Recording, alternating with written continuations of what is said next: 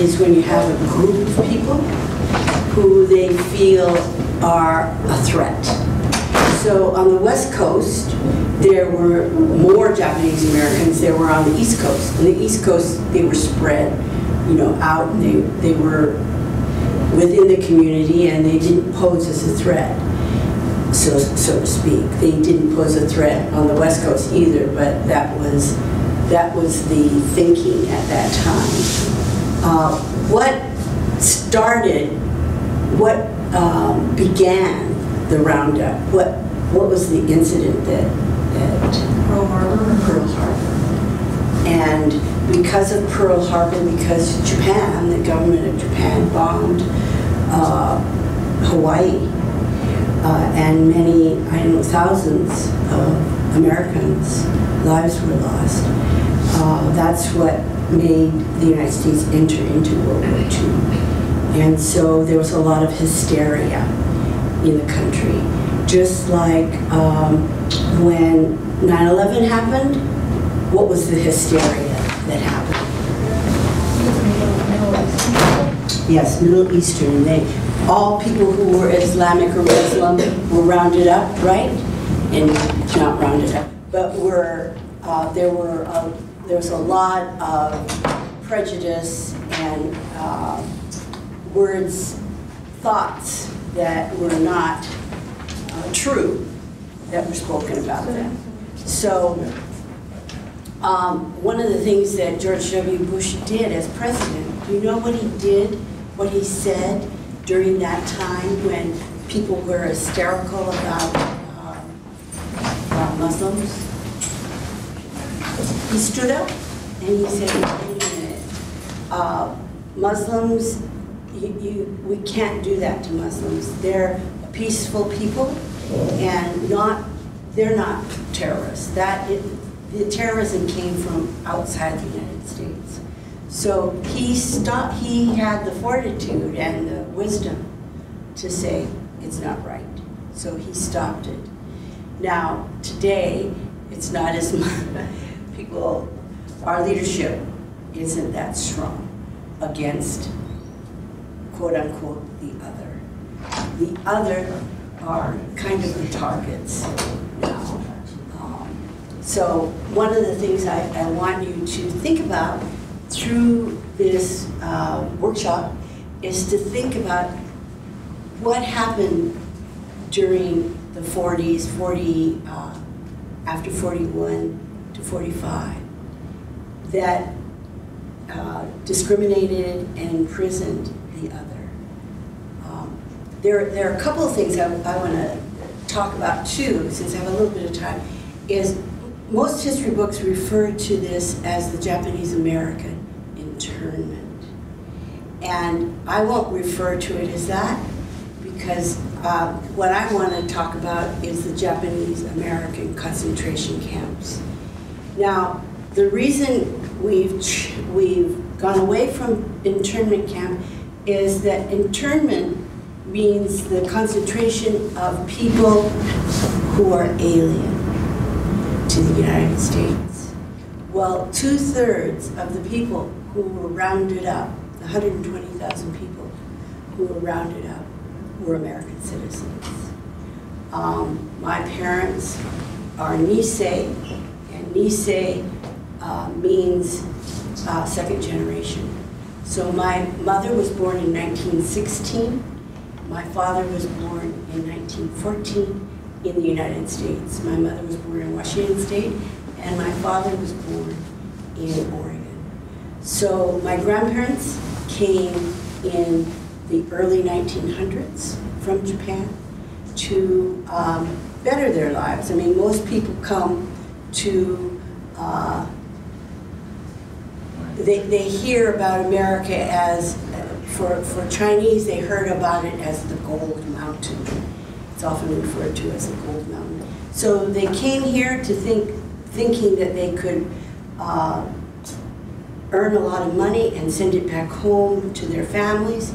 In Japan at that time, in the early 19, late 1800s, early 1900s, in Japan, they, they were uh, experiencing a lot of uh, drought, and poverty. And they had what you call primogeniture, which means that uh, everything is inherited through the first son.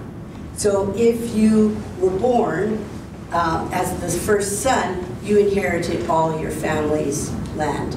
Now, my grandparents were, my grandfather on my mother's side was the second son.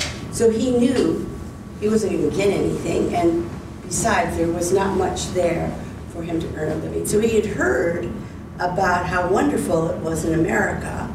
You could get rich. So he decided to um, go to America and seek his future. Now he was he was single, and um, he said back home to his parents for a wife. Does anybody know what picture brides are? Can you guess what a picture bride would be?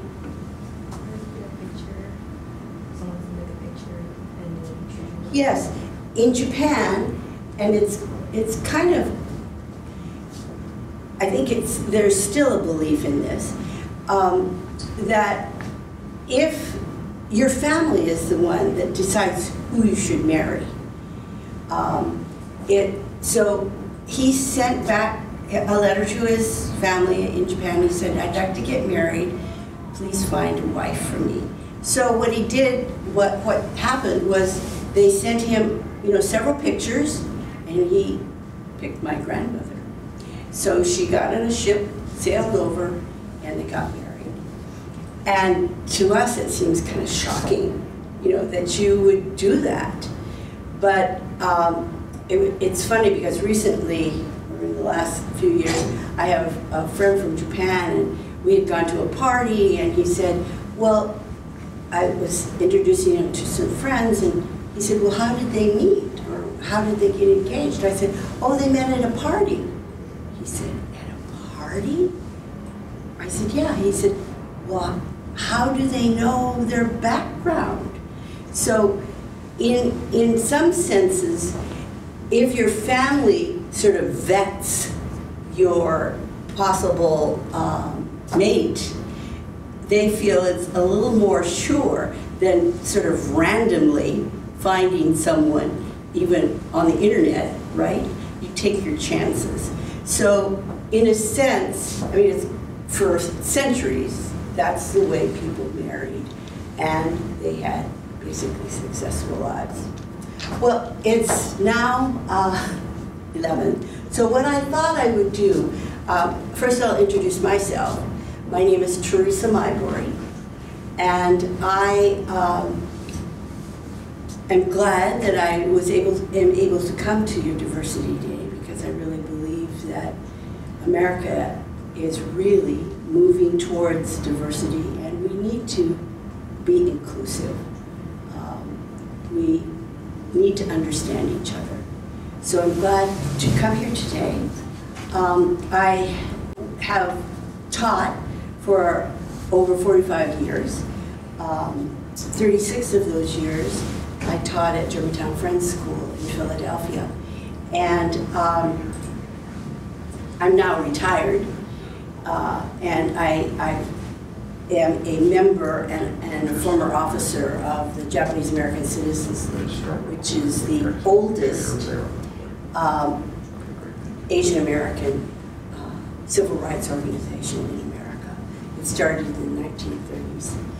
Um, so I felt that it would be great if I came here today to kind of inform you about the hidden history of Japanese Americans in America and their experiences because a lot of things that happen to us as a minority are reflected in what's happening to other minorities today. Um, you think about the migrant uh, worker or migrant refugees and asylum seekers who are trying to get into America. What's happened to them? What's happening to them? Often they put in camps. You can see tent cities, right? and the children are separated from their parents. So as we go through this, I want you to think of the parallels that are happening at our borders today that happened to the Japanese American because they were known as the other. Um, I'm going to start off by doing an exercise called See, Think, Wonder. Have any of you done have done this exercise? Okay. So what I'm going to do is ne- the person next to you. So what's your name? Rocio. Rose Rocio. Rocio. Can you sit next in this chair and then you can partner with this girl? I forget everybody's name. Um, what I'm going to do is I'm going to give you 30 seconds to talk to uh, another person um, opposite you. And I want you to look at this map, okay? And for 30 second, seconds, I want you to brainstorm and think. I have paper, but I think I- I'll just let you brainstorm and then I'll write up on the board. I want you to just tell me what you see, okay? So please start.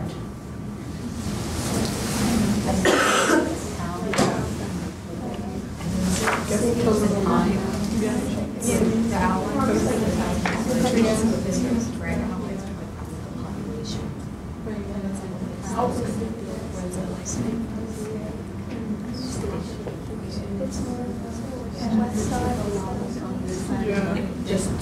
Okay, 10 more seconds.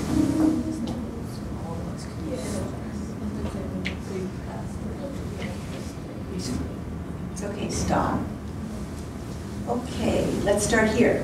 What things did you see? Give me two things. Um, we saw that like a lot of like the dots are concentrated on like the west side of the Okay, US. dots on west side of map. Okay? How about here? Oh, two things. Oh. uh, the, the map doesn't show the east coast. Oh. No east. Okay, here? The probably like concentration camps. Okay, Or if you want to look okay. Shows concent, concentration camp location. Okay, Oh, um, we said that like the little outlines are more towards like on the top of the map. okay, so we'd say north, uh, most of the, what, Like the, the red. most of the dots, No, like the red like the tan, yeah. most of the tan sections.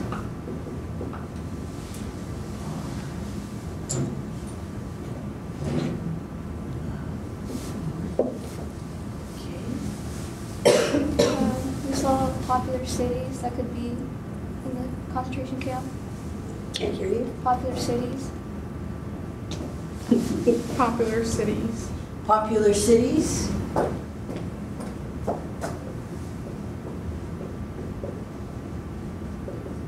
Can we bring the map back up?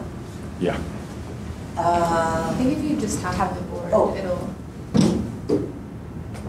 Um, no, probably not. It's, we're using a separate map, Um, but take a second. Okay. There you go. Just be there. There you go. Okay, anybody else want to add to anything that you thought about? Okay. Um, What do you think then? So th- this is what you see. You saw dots mostly on the west coast, not the east coast. You thought that it shows, well, actually, this is a think. You don't know that, do you? So that's a think. Uh, The, what did I say? The dots are concentration.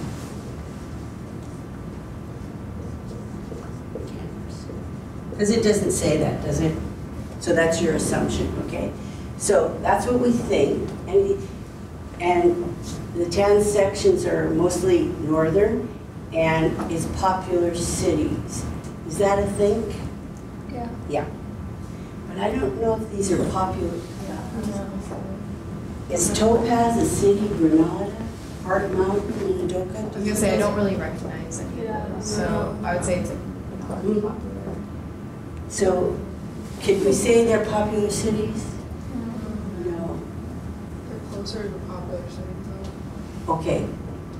So you, that's what you think, Yeah. right? You think um, the dots are close to cities, meaning big cities rather than towns. Any- Okay, so talk, give you 30 seconds to talk about what you think now. We've got two things we think. Okay, so we can start. So um, the tan sections would probably be.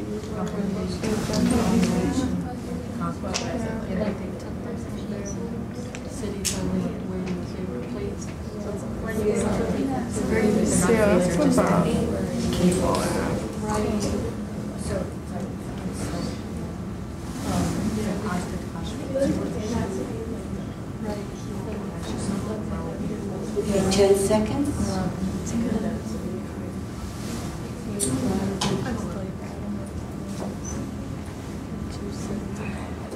Okay, let's start back here. What do you think? Um, we said that like the tan, the tan spots could be like the population where there was more like Japanese. Okay, so you think that the tan areas have more JAs, Japanese Americans, okay? Uh, we were thinking that the, the names with the dots are the names of the camps. Okay. Names of dots. Names of camps. Here. I guess like where people live. Uh, what is where people live? The dots are where people live.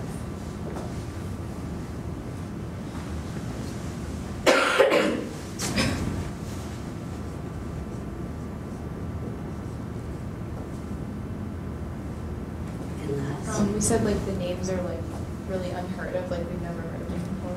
um, um,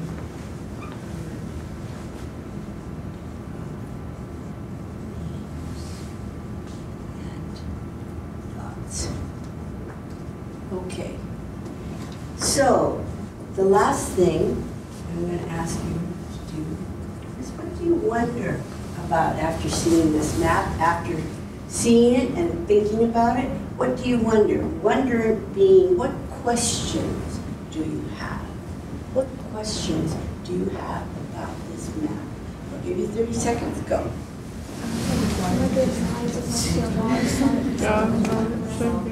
Right.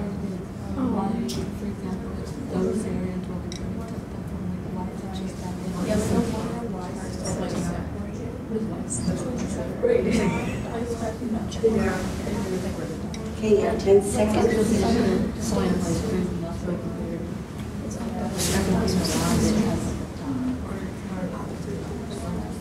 Okay, stop. We'll start here, in the middle. Um, we were wondering why is like Nevada empty, there's nothing Okay. there.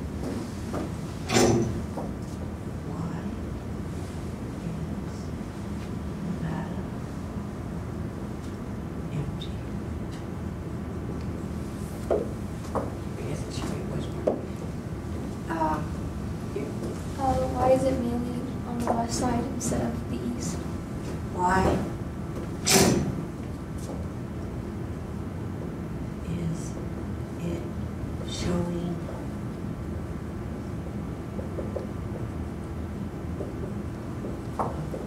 West, not east. Okay? Um, why aren't the tan locations, why don't they like correlate with all the, the other dots on Okay, why are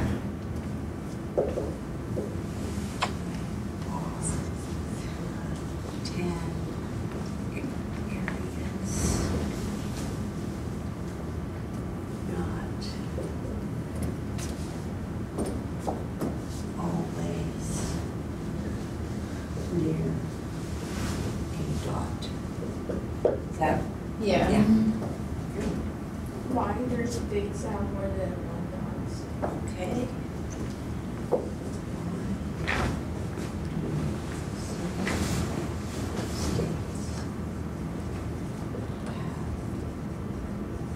About my writing.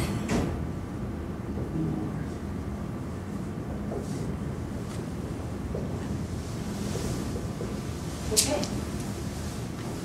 All right, so we're going to hope that at the end of this, after I talk about it and I show you a video, we'll be able to answer this. If not, I'll try to answer it. And we'll have, we'll have to see, did, our, was our thinking correct? Okay. So as I talk and as we hear the video, see the video, let's keep those thoughts in mind. What I want to talk about is my connection to this map, my connection to the video that you will see. Um, as I titled this workshop, The Hidden History of the Japanese American I was born in 1945. So I did not know how and under what circumstances I was born. Uh, when I when I would talk to uh, my students, they would say, "Where are you born?" And I would say, "Caldwell, Idaho." And I taught third and fourth graders. So one child, the next day came back, and I'm sure she was telling her parents, my new teacher, you know, uh, from from she she said she was born here. She said so. She came back the next day and she said. Ms. Maebori, what part of China were you born in? Okay, so what, I just chuckled. What were the, the errors she was making? What were the assumptions she made? That you're Chinese. That I was Chinese, what else? But you weren't born in America? That I wasn't born in America. That Caldwell, Idaho might as well have been China, right? She had no idea where Caldwell, Idaho was. So, um, I, I often start when I'm talking to a group is, have you ever had this question asked of you? You speak such good English. Where are you from? Raise your hand if been, ever been asked that question. Okay, Only one? Surprised, okay. What's the assumption that's made when they ask that question? I'm not American. Why do they think that? Is, is there, is there uh, only one picture of what an American is? Because most people don't have that broad view of what America is composed of. So um, that's what that student was asking when she asked me that question. She, she assumed I was an American and that uh, I was from China. Um, so I decided after, when I retired, I was teaching refugees uh, at an organization called the Nationality Service Center in Center City. And I did, and I would get students from all over the world. And again, they would look at me, and I'm speaking English, and I'm trying to teach them the correct way to speak English. Uh, and so one young woman uh, from the Ukraine raised her hand and she said, where are you from? And so I, again, I chuckled, and um, I had spoken previously to some of the other students about it, and I had them come and show where Caldwell, Idaho is. Caldwell, Idaho is about right there. Um, So, uh, as I, as I was saying, my parents were both born in America in 1914 and 1916. So they were American. I know today, I think president has said, what, what does he call it? You can't, uh, he, he wants to banish people who have immigrated to America and then their children are born in America. He doesn't want them to become citizens. He doesn't think that that's right. But it's in our Constitution that if you're born on this soil, you are an American citizen. All right? So my parents were both born in the United States. And uh, they, uh, my, my grandparents came in the early 1900s. So we've been in America for over 100, over 100 years.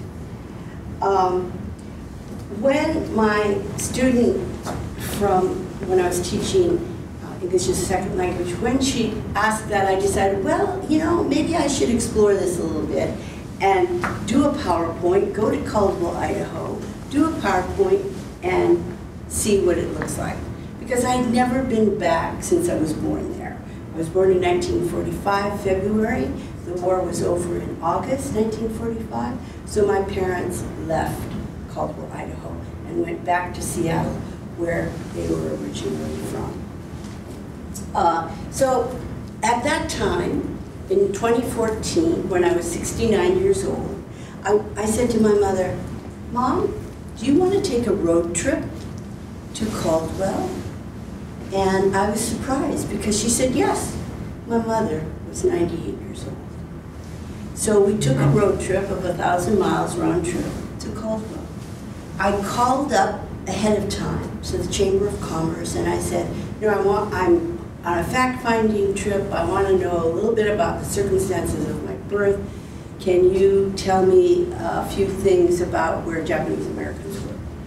And they said, oh, there's a site. Um, it's now a site for low-income housing, but uh, we can get you in touch with the uh, director.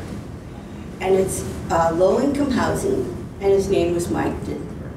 So we, I drove there, and I introduced myself, and Mike showed me around the camp. Well, the camp is now for low-income housing, but at the time that my parents resided there, it was a, a camp, a labor camp for my, it was created in 1939 by Franklin Delano Roosevelt's administration, and it was created because of the migrants coming from Oklahoma and Arkansas. I don't know if you know any history, but do you know what was going on in the United States in 1939 that made um, people from Arkansas and Oklahoma migrate, to migrate to the West Coast? Yes? Um, Great Depression. the Great Depression, and the Dust Bowl. So they had nothing in those two states, so they packed up all their gear and they migrated to the West Coast to get work. So the, uh, it was kind of some, the, the director said, well, it's kind of like early socialism. So Roosevelt had these camps built, these labor camps built for the migrant workers. Well, in 1942, what happened was uh, the war. And what do you think all those migrant workers did then? Were they going to labor in the fields anymore? What, what were they going to do? Fight the war. Hmm? Fight during the. Enlist in the military. Anything else? Were there lots of jobs? Yeah, like Yeah. for the war effort. Once the war, once war happens, war industry just burgeons, right? So uh, there was lots of jobs. They didn't have to be in the fields working uh, manual labor. So they left. So these um, camps were empty. Now, what had happened in 1942, by 1942, was that uh, Japanese Americans were put in concentration camps, in 10 concentration camps. Those are the red dots. So some of you probably were right. Those were the majority of camps. My parents left Seattle and were assigned to Tule Lake. Tule Lake was uh, in Northern California. All these places were remote. They were, it was on a dry uh, lake bed. There was nothing in that vicinity except just, um, one of the reasons, one of you said, well, why was it, what was it near major cities? Most of these places were not near major cities. They were uh, in remote areas, but they had a rail line that went past it so that they could bring the people in, put them there. They had transportation to put them there and put, bring supplies, etc. So two, some of these were Indian reservations, okay? So why would they want to put them in remote areas? So people would know about them. So people wouldn't know about them. Exactly. There was um, information because there was hysteria after the after Pearl Harbor. So they said, "Yeah, get those Japs in away from here." So there was hysteria, and they wanted to get rid of anybody who had Japanese ancestry. So they put them. They were hurriedly built uh, just like the camps along the southern border. They were hurriedly built. Um, and before they could go to these camps, they were, were in detention centers. So the detention centers were often racetracks. So my parents, once they were rounded up, they went to uh, a racetrack. They had to stuff their mattresses with straw and many of them had to sleep in horse stalls that were not mucked out yet.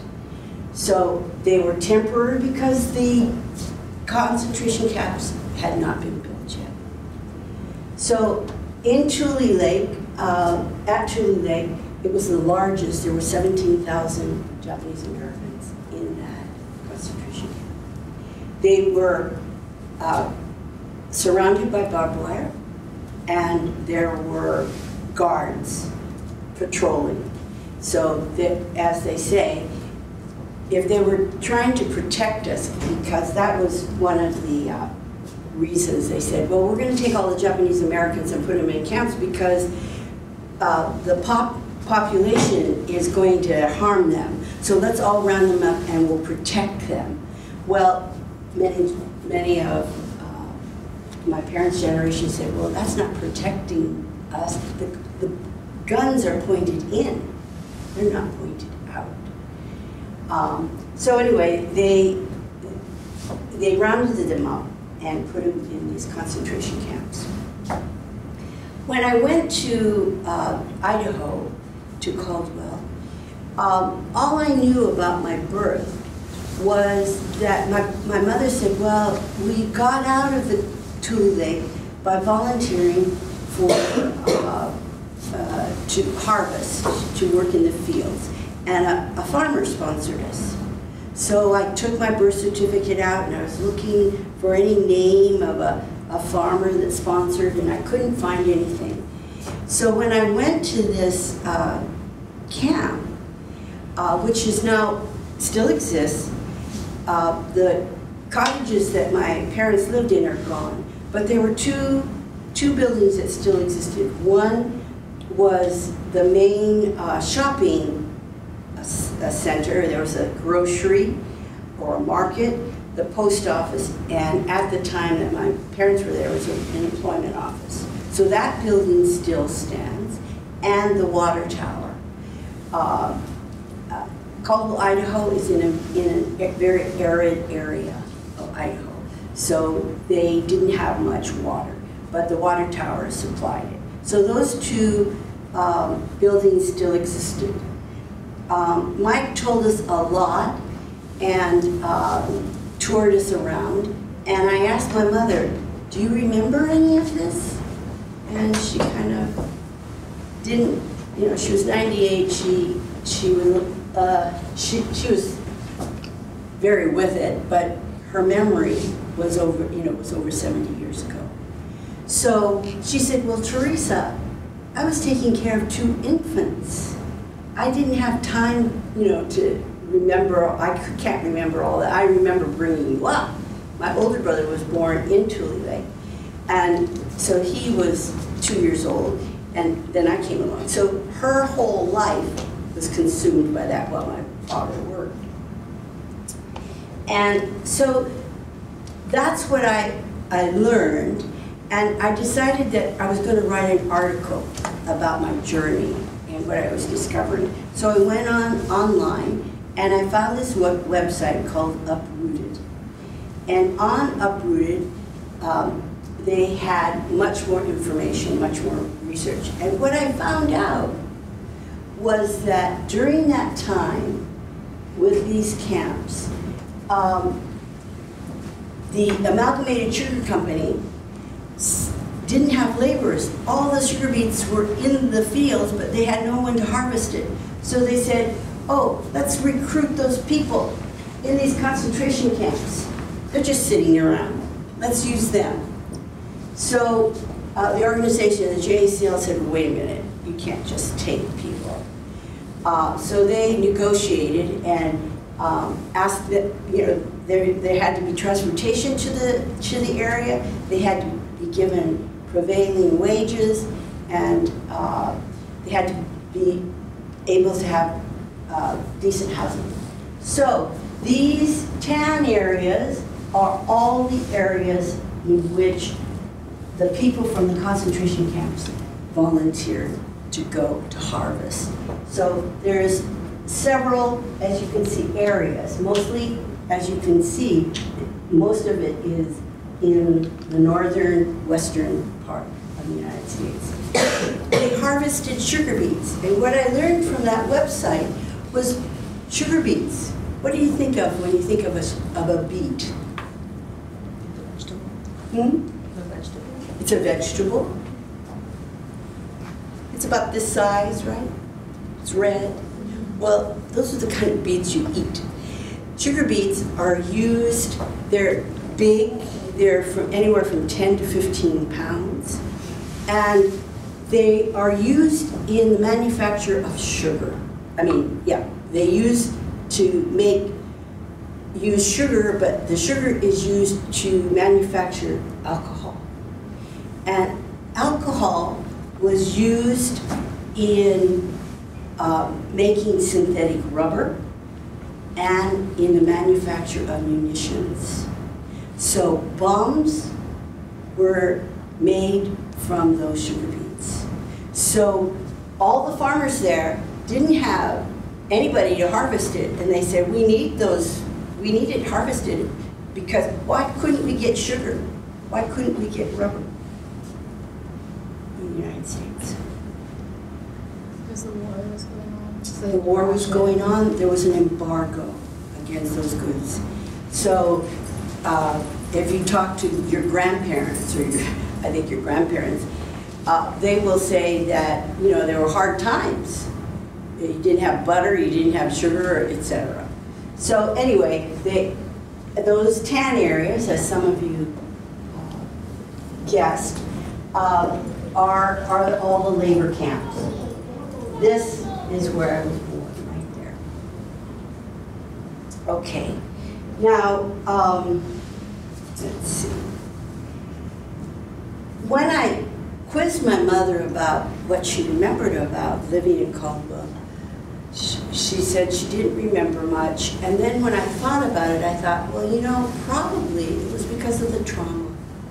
Here she had been, she was an American citizen, she had just graduated from college. My mother and father were married on November 22nd, 1941. The bomb on Pearl Harbor was two weeks later. So their whole lives were upset. Um, they started their married life in concentrate in a concentration camp.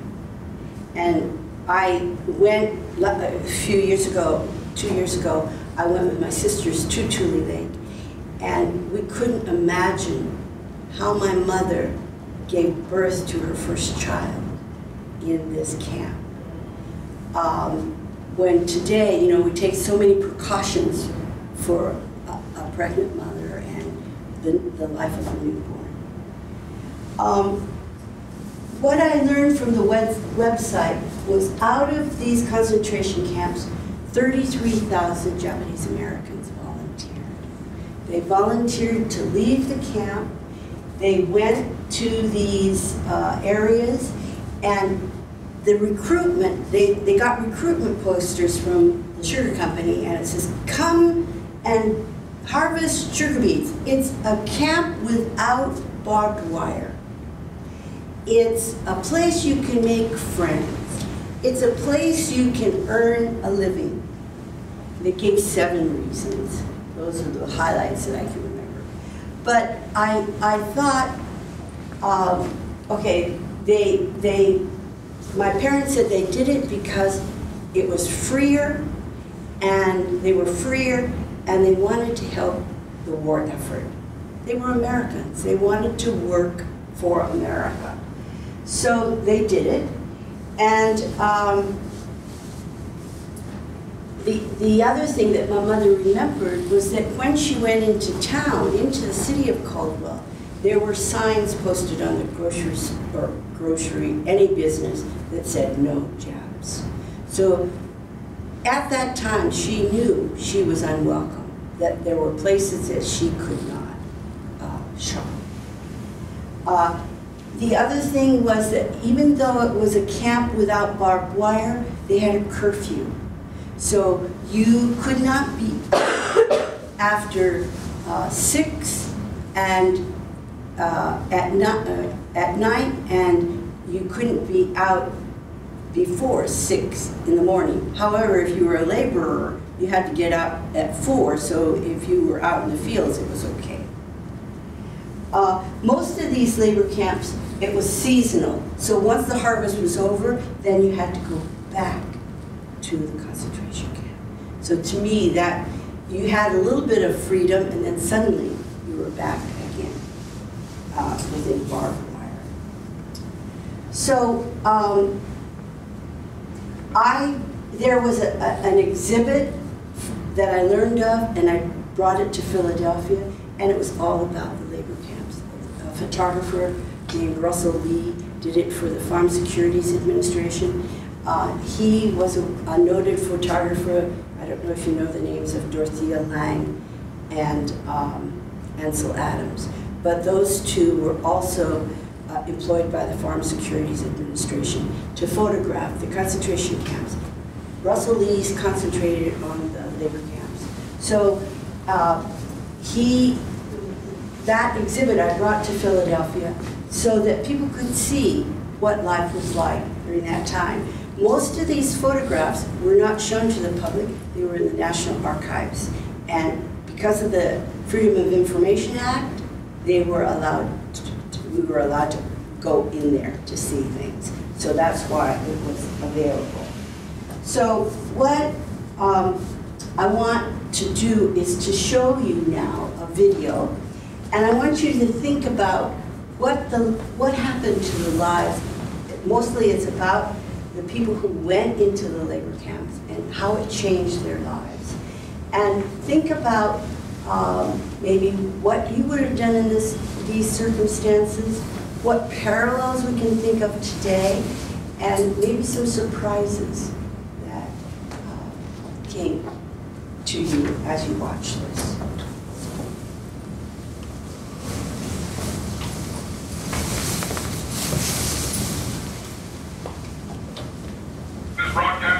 broadcast brings this important from the It was Sunday afternoon. We got the news. Flash, Washington. The White House announces Japanese attack on Pearl Harbor. I happened to be in the Seattle hospital. All the doctors and nurses are huddled around the radio.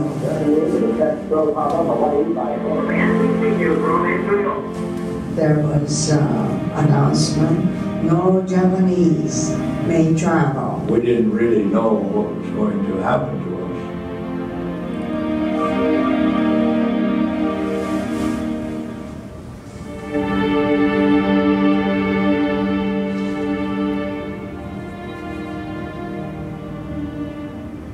We received a notice from the government At the saying time, all this was filmed. Japanese, She was 103. regardless whether you are a citizen or not, prepare to leave your home. Also, you can only carry two suitcases with you. Our mother took us to J.C. Penney's and we picked out suitcases and they were cardboard suitcases. The only thing we could take was whatever you can carry. I still got my suitcase with a number on it and everything. I remember just packing party clothes because they were our nicest clothes. Our mother sewed a big duffel bag and she stuffed everything in there that she thought we needed. They didn't give us much chance to do anything for a couple of weeks. So he sold one tractor, and from our house, we sold our piano, but we cheap, you know. And uh, we didn't get to sell anything else, we just left it in the house. Our mother, she, she cried. I remember her just crying about the fact that we had to move and lose everything. The government had these people come from Oklahoma and Arkansas, and they had them already ready to move into our farms and take over and harvest the crop and run the farm. It's kind of mind-boggling to think back of all that they had to do to get us together and move and get our farm settled and everything stored away. They didn't retaliate, they didn't fight, they just went, you know, quietly. And that's why our parents, remember, parents said, oh, keep your mouth shut and just go quiet. up and just do what they tell you. You know? And that's what it was. We just kind of fell in place and followed the instruction. Well, Our parents really had to endure a lot of hardships, but, you know, we didn't feel the hardships as much as they did.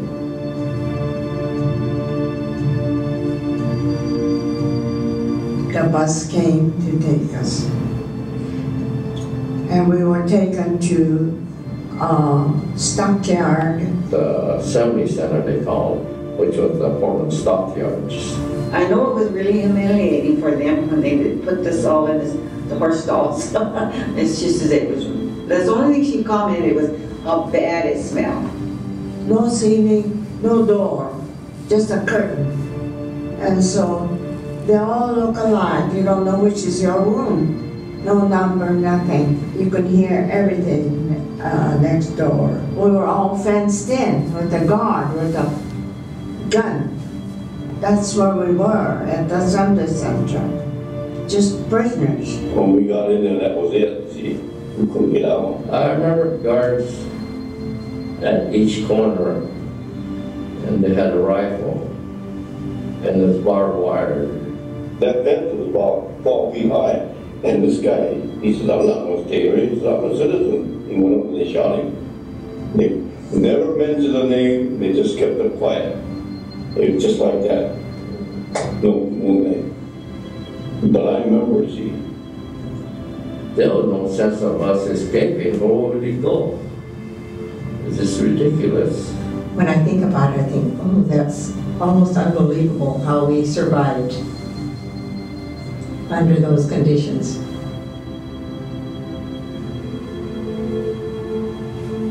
My dad didn't want to stay in there. He had five girls.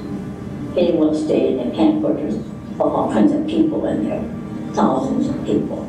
The sugar beet company from Nyssa, Oregon, came to recruit workers. There was a call from Eastern Oregon asking for farm labor because all the men were in the service. Amalgamated Sugar Company said we need three thousand extra workers. uh, because of the increased production of sugar beets. Something like 1,600 could be Japanese Americans. They were getting behind on blocking the sugar beet, so they went to Department of Agriculture, I guess went to Roosevelt, and they okayed it. Even though the governors, April 7th, 42, said, we don't want the enemy in our states, the state officials who dealt with the sugar beet companies, the sugar beet farmers, said, we need workers. The field man came over there, and they had a table like this, we signed up. First, uh, they had to be cleared by the FBI to make certain they were not on any lists. About 20 young men volunteered, so I will go and work. And I was the only woman. I said, I will go to work. Our group was the first family group, and there wasn't that many families that went. My father said that at least we get to do something and we can work and we can make money. There was five boys and a sister, and my father wanted to make sure that they went to public school. And that was the opportunity that presented itself there, along with the freedom of being able to do as you please without, you know, being in a fenced-in place. My dad was probably already in his 80s when I asked him, uh, you know, were you kind of scared? He said his friends had told him, don't go because they're probably just going to shoot you. We were placed on a train at night. All the shades were pulled down. There was a guard on the train with a rifle and a pistol. We gathered up our things again and rode the midnight train. And in the morning, we arrived in Nyssa, Oregon. And there, we were given canvas tents to live in with a hot wood stove to cook on in the hot weather of 110 degrees.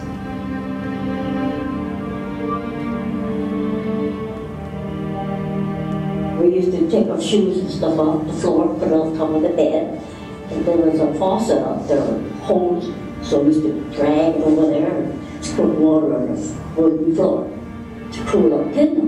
When it rained, they finally gave us another cover to throw over the top so that the rain would come into that.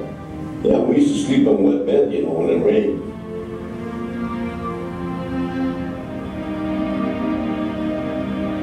The farm labor camp south of Twin Falls, there were the uh, barracks similar to the relocation center's barracks. Sleeping quarters, pot-bellied stove, beds, table and chairs in the rooms. And you had to go to a separate area where the hot water was located to get uh, showers and wash your clothes and sheets. The wash tubs were located between the men's and women's showers facilities. And then attached to that building was the uh, mess hall and meeting room, because that's where I went to school.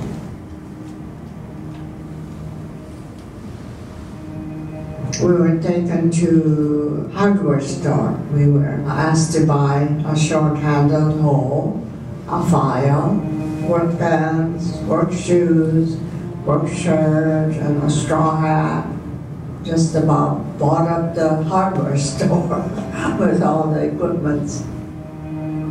Sometimes we traveled 20 miles on the back of a truck to get to the farmer's field. It was usually 4 o'clock in the morning, and that was cold in the early morning hours. The sugar beets were all thinned out by hand. They were all harvested by hand, topped by hand, and thrown up on trucks. Half a day you're cutting and topping it, the other half you're loading it, take it to market. That's a lot of work.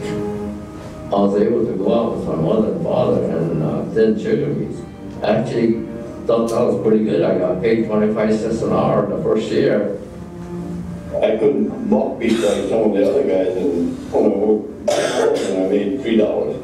And there was a set hourly wage when you're thinning and blocking. Some of it was piecework, so so much per acre.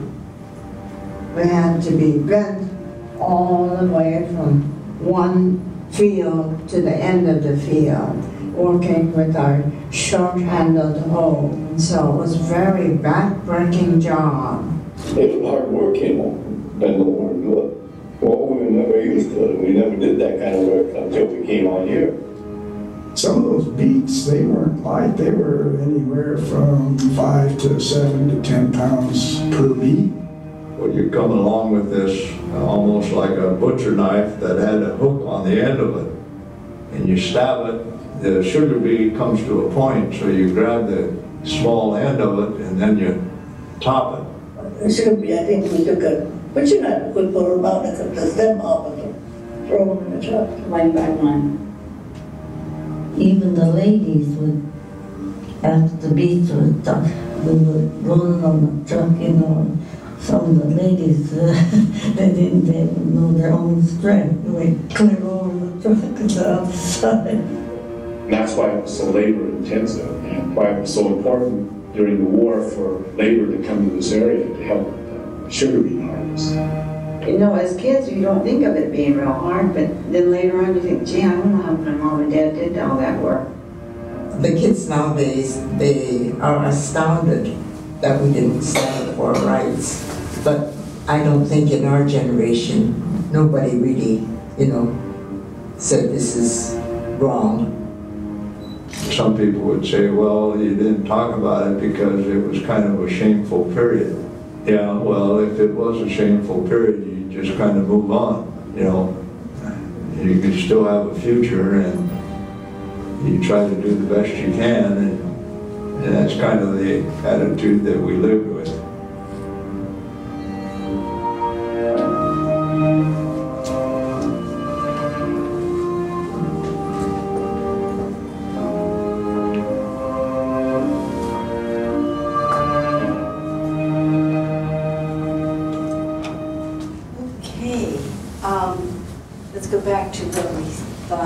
Thought. Um, the dots are concentration camps, were we right? Yes. The dots are close to cities, is that correct? No. Uh, the tan areas have more Japanese Americans. Well, I guess they did. Um, Names of the dots are names of camps, is that true? The names of the dots? Yeah, Tule Lake, Minidoka, Manzanar, Gila River, um, and uh, unheard of names. So we, we've never, have you ever heard of Rohwer in Arkansas or uh, Jerome? No, they, they were very remote, and I think you understood why they were remote, right? Um, and I think in the video, one of the women said, when we traveled to those labor areas, the um, windows of the trains were blackened. Why do you think they were blackened? Maybe not knowing, not knowing where they were going. Anything else? So people didn't see them traveling. So people didn't see that there was a bunch of Japanese that they would think uh, going through the area. Um, okay, why is Nevada empty?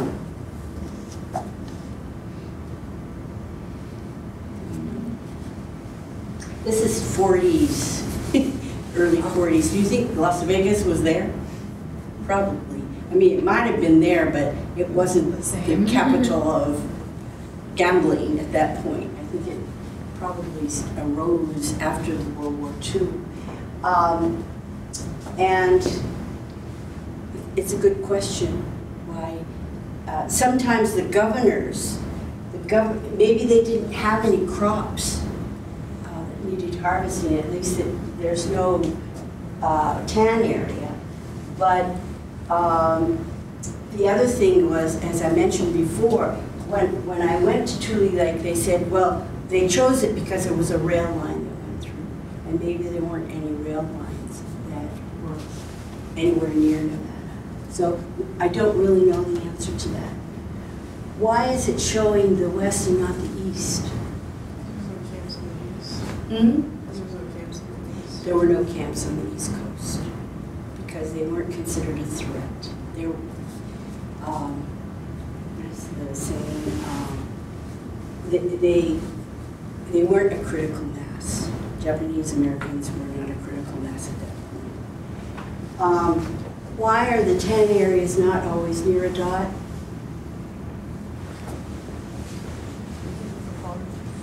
Because that, they were where farms were located, okay? And why do some states have more than one dot? California has more, uh, Arkansas, Arizona. That's a good observation. Why do some have more than one dot? Um, they probably had like a higher population of Japanese Americans. So in, in Arizona? I mean, not Arizona, Arkansas? Oh, yeah. I don't know. So there were more like rail lines like going through s- different like areas? That and the government had to find a place where they could quickly construct um, a, a camp. It's like really And- remote areas. Yes, in remote areas, and like I said, where were some of those camps? On Indian reservations. So uh, I don't think in Arkansas was that, it would be interesting to research why they were there. But those were good questions. Now, kind of open it up to you. Do you have questions about what you learned today or saw or about the video? Yes. Uh, So did a lot of Japanese move to the east?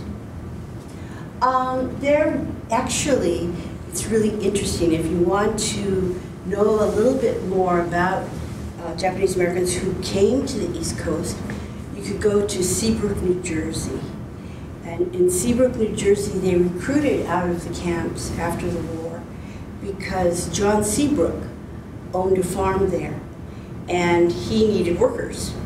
So he recruited out of the camps and there was thousands of Japanese Americans who went there to help harvest crops. And he had, he, uh, the Seabrook Farms, it, it was known as the first, uh, you've heard of Birds Eye frozen foods? They, he, they invented flash freezing. So they could freeze uh, their crops. So in Seabrook, there were many Japanese Americans who came to the uh, East Coast. And I would ask a person from Seabrook, I said, well, why didn't you go back to the West Coast?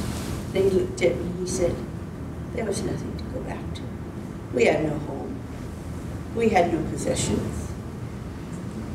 People hated us there. We needed to start anew. So some people wanted to go back and start again. Some people said, forget it. I've had it. I'm going to start on the East Coast. Any other question?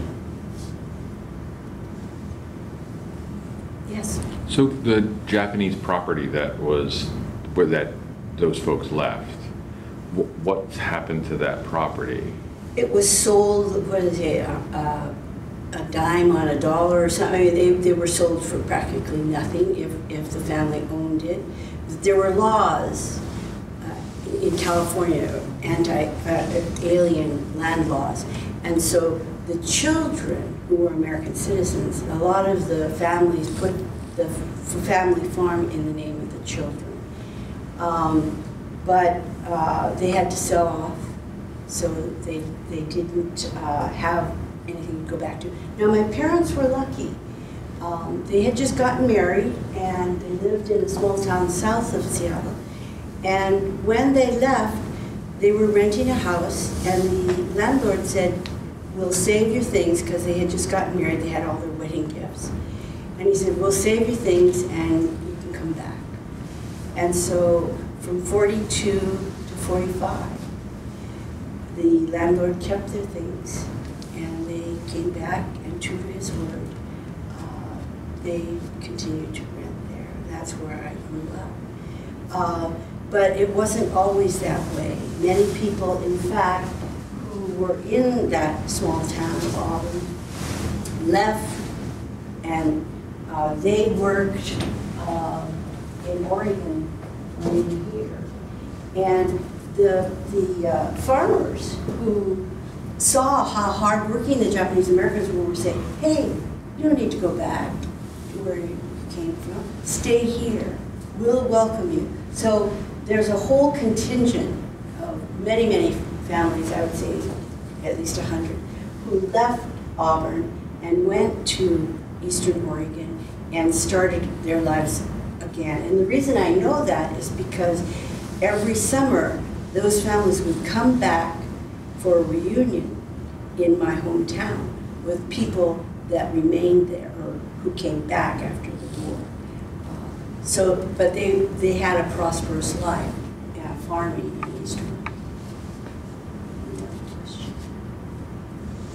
Sometimes I ask uh, students, what would you take if you could take only two suitcases? What would it be that you would take? And remember, there was no electronics in those days. The other thing is they couldn't take a camera and they couldn't take a radio.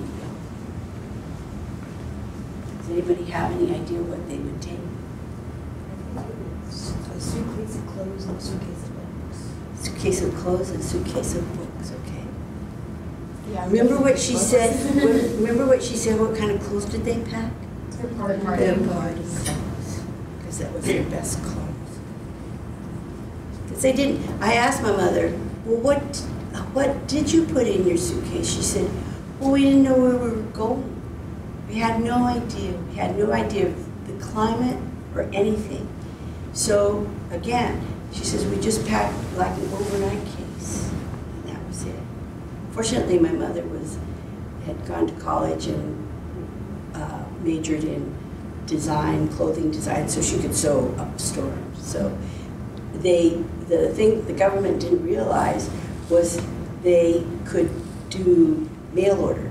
So they got the Sears and Roebuck catalog and the Montgomery Ward catalog, and they ordered things through the mail. So it was, it was interesting. Anybody else have something they would take?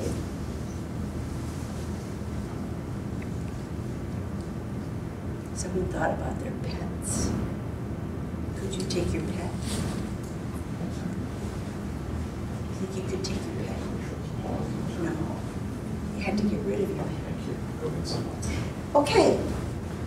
Uh, you were a great audience. I hope you had an interesting time here. And I have some books up here. This is on Columbo, where I was born. It shows the camp that now exists and when it did uh, before. Here's, uh, I went to Tule Lake in 2014, or 2017, and some other things, uh, and an- an article that was written in the Inquirer in 2016 about the exhibit. The other thing that I was really grateful for was, I remember I told you my mother, I took my mother when she was 98 years old in 2014. Uh, Two months later, she died. So I was so happy that we had that time together. Uh, And that I could at least, I think she was very happy to go because I took an interest in what their lives were like at that time. So if you want to look at some of these things, uh, feel free to. And if you want to do more research, you can um, talk to me or uh, find out some more source material. Thank you. Thank you. Thank you.